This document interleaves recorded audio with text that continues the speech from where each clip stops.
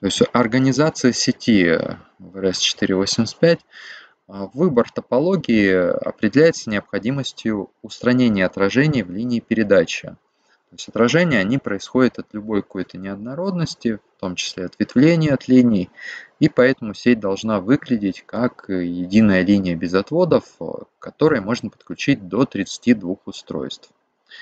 А длинные отводы и соединение нескольких кабелей э, в одной точке приводят к снижению качества передачи.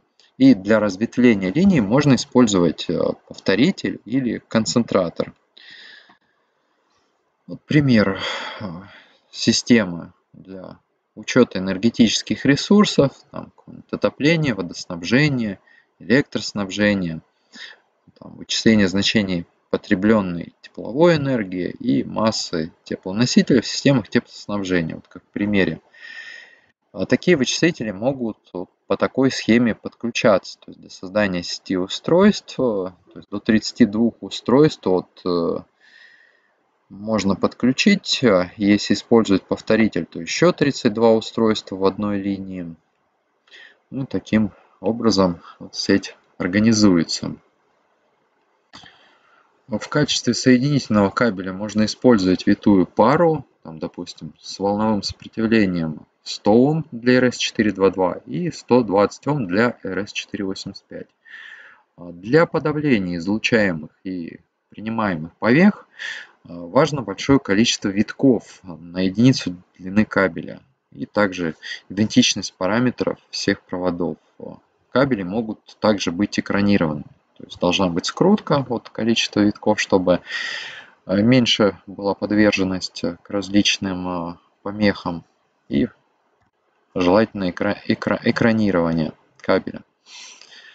Основная топология, как уже можно было понять из картинок, это некая такая общая шина. Ну и пример соединения устройств через двухпроводной интерфейс RS485 представлен на слайде.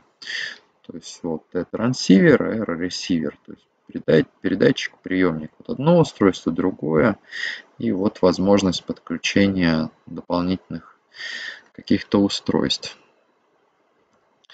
Интерфейсы RS422 и RS485 э, могут использоваться для увеличения длины линии связи, а взаимодействие между RS232 и RS422 или RS485 можно обеспечить посредством специального интерфейсного конвертера. Вот пример соединения устройств DTE и DCE как раз э, представлен. То есть в середине схемы есть конвертер, который уже, собственно, там что-то да как-то преобразует, ну и, конечно же, соединяет. То есть, вот, допустим, это какой-то оператор, подключается к какому-то измерительному устройству, неважно, что и как это измерительное устройство делает, но вот, возможно, такая схема подключения, и вот на уровне сигналов, как это, собственно говоря, представлено.